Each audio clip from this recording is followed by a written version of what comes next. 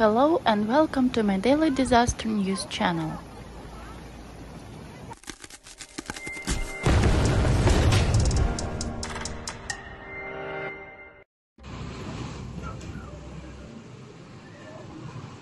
Yo. The information in the video shows an incident on June the 19th, 2022 in Guangdong, China. 大桥都断了啊！你们呢？半年不要回来了。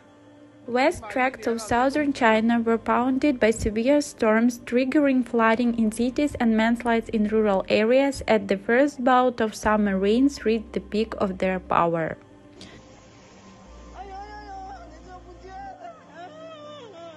Streets turned to swollen rivers as cars and single story houses were swept away in at least two areas in the province in southwestern China, according to the videos circulating on Chinese social media.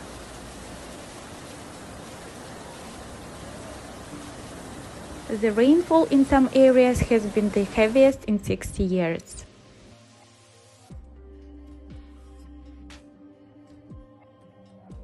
Mudslides and road collapses were also reported.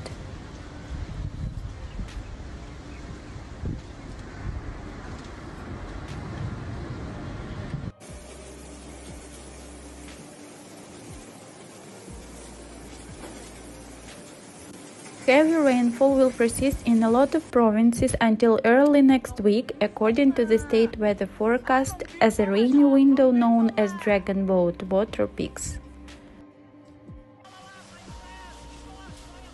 Subscribe to the channel to keep abreast of the most important changes on the planet.